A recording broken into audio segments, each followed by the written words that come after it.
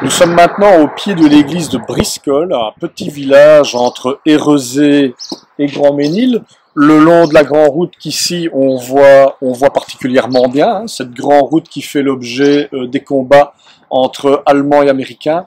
Le village de Briscoll est tenu momentanément par la compagnie C du 509e bataillon parachutiste.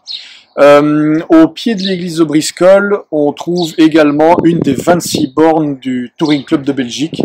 euh, qui sont parmi les, premiers monuments qui ont été euh, installés directement après la, Deuxième Guerre mondiale pour rappeler la bataille des Ardennes et pour rappeler les différents endroits où l'offensive allemande a été arrêtée. Cette borne-ci, évidemment, témoigne de l'arrêt des troupes allemandes du côté de Sadzo mais également vers Grand Ménil dans les combats de la fin du mois de décembre 1944.